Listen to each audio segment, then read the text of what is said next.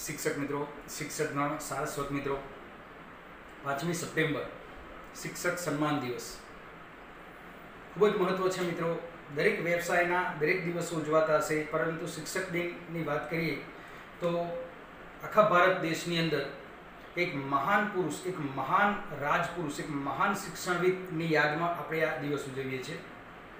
આજે તેમના વિશે હું થોડાક મુદ્દાઓ આપણે ચર્ચા કરીએ મિત્રો. તમિલનાડુનું એક નાનું ગામ, તિરુપતિ. એ ગામની અંદર એક સર્વપલ્લી વીરસ્વામી અને સીતામ્માના ઘરે એક બ્રાહ્મણ, ગરીબ કુટુંબના ઘરે એક મહાન વિભૂતિએ એક બાળકે જન્મ લીધો. ખૂબ જ હોશિયાર ભણવામાં. પોતાનો એક વિષય ફિલોસોફીમાં ખૂબ જ રસ રાખીને તેમણે માસ્ટરની ડિગ્રી કરી, ત્યારબાદ પીએચડીની ડિગ્રી કરી અને ત્યારબાદ ઓગણીસો નવની સાલની અંદર એ વખતની પ્રખ્યાત કોલેજ મદ્રાસ, હાલનું Chennai. Presidency college of college of મદ્રાસમાં પોતે એક શિક્ષક તરીકે, એક અધ્યાપક તરીકે જોડાયા. શરૂઆતની જે કારકિર્દી હતી એ શિક્ષક તરીકે મિત્રો તેમણે કરી હતી.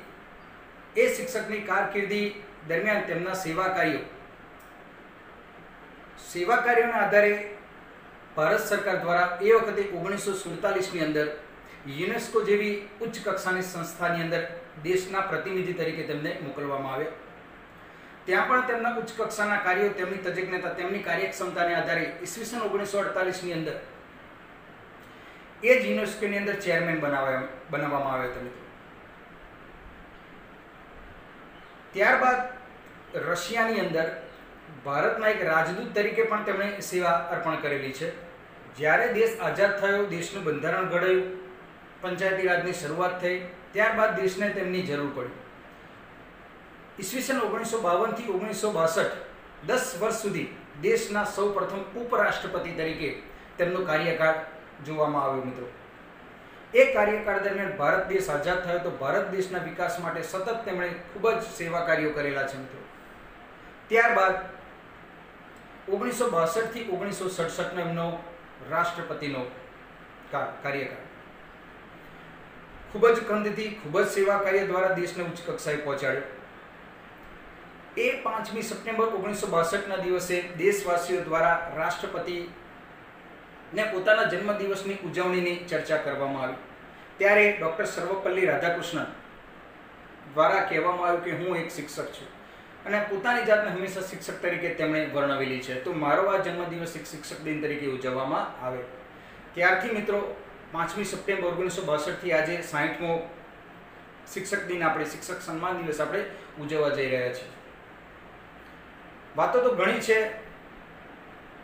ડૉક્ટર સર્વપલ્લી રાધાકૃષ્ણન એક એવું વ્યક્તિત્વ કે જેણે દેશમાં નહીં, પરંતુ વિદેશમાં પણ ખૂબ જ એવોર્ડ મિત્રો, એટલે ઉચ્ચ કક્ષાના એવોર્ડ વિદેશો દ્વારા, ભારત દેશ દ્વારા પણ તેમને તેમના કાર્યો, સેવા કાર્યો માટે આપવામાં આવેલા છે.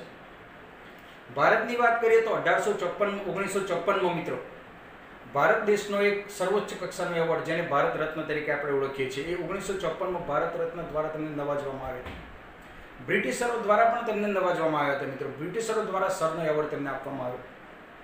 ત્યારબાદ ઓગણીસો પંચોતેરની અંદર ઓક્સફર્ડ યુનિવર્સિટી, જેમ ઓક્સફર્ડ યુનિવર્સિટીમાં પણ પોતાના વિઝિટિંગ લેક્ચર તરીકે એક શિક્ષક તરીકે પણ તેમણે સેવાઓ આપેલી છે ત્યાં.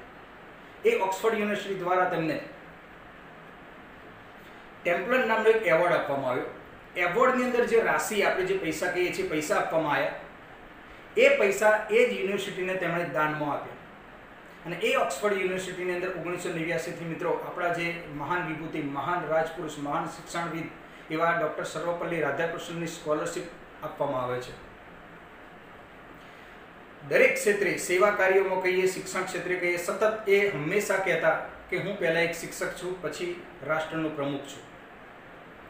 એવા મહાન વિભૂતિ, એવા મહાન પુરુષ, એવા મહાન ફિલોસોફર, એવા મહાન શિક્ષણ શાસ્ત્રી સત્તરમી એપ્રિલ ઓગણીસો પંચોતેરની વહેલી સવારે આપણી વચ્ચેથી વિદાય લીધી. દેશ તેમના કાર્યો, તેમના સેવા કાર્યો હંમેશા યાદ રાખશે.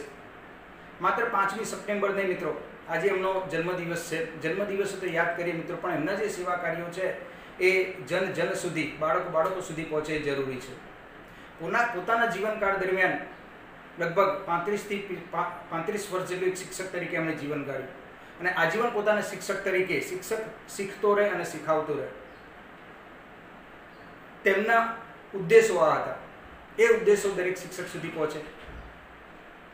એવા આ મહાન વિભૂતિ, મહાન પુરુષ, મહાન દેશના મહાન શિક્ષણવિદ, એવા મહાન શિક્ષણ શાસ્ત્રી સર્વપલ્લી રાધાકૃષ્ણને શિક્ષક જગત અથવા તો સર્વ શિક્ષક મિત્રો વતી નતમસ્તક પ્રાણ